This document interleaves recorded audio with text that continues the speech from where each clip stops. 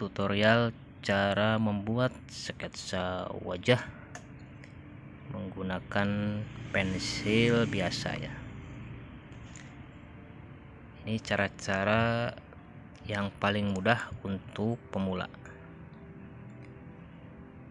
Seperti terlihat ini kita buatkan dulu garis globalnya ini wajahnya miring. Ini ngambil contohnya contoh wajah yang miring ya caranya seperti ini. Dibuatkan bulatan miring dibuat garis ini untuk mata. Ini garis untuk hidung untuk patokan ya. Ini garis untuk bibir ini yang ini, ini untuk bibir yang ini yang bawah.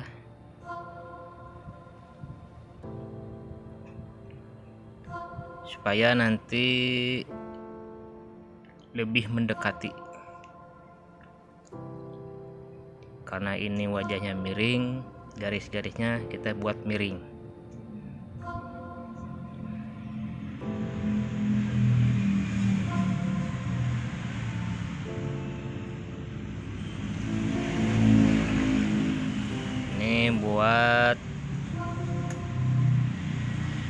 titik alis dan ini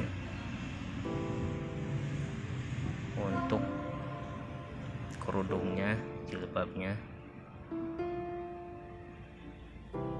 Untuk seket awal usahakan tipis-tipis. Ya kalau pemula biasanya masih pakai penghapus jadi gampang dihapus atau gampang ditimpa lagi. Menggunakan pensil yang lebih hitam ya lebih lebih kerang ya. Ini pensilnya agak transparan ini pensil biasa. Ini pensil yang khusus atau pensil yang buat anak sekolah nih. Sekarang kita buat matanya bentuk matanya. Yang sebelah kiri pelan-pelan saja tipis-tipis saja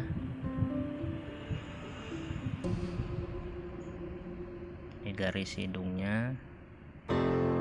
Gunanya seket tipis itu bila seket nggak pas masih bisa dirubah atau digeser-geser. Tapi kalau seketnya langsung tebal langsung hitam kerang nanti malah berbekas.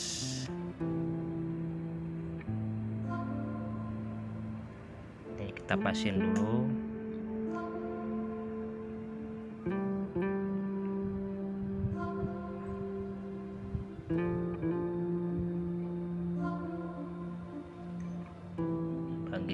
bawah hidung. Kira-kira ini di titik mana berada? Kita samakan.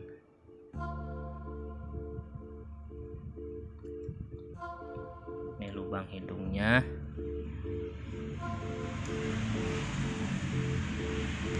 Ini masih tipis-tipis mainnya. Sketnya masih tipis. Nanti untuk penebalannya nanti sambil kita dimiripkan dimiripkan lagi.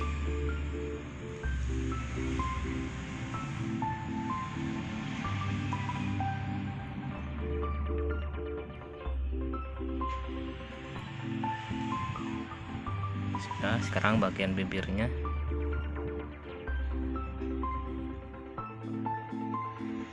Nah ini titik-titiknya. Karena tadi udah dibuat garis miring ini tinggal ngikutin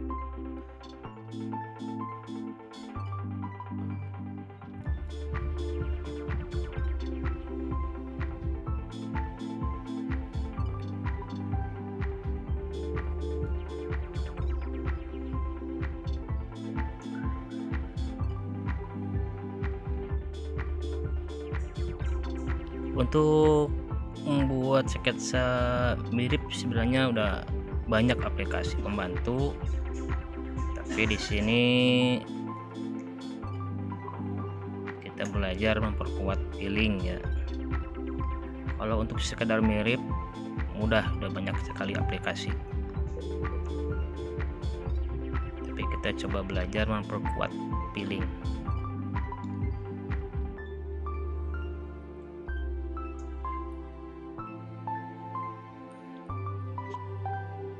Oke kita langsung aja gaskan.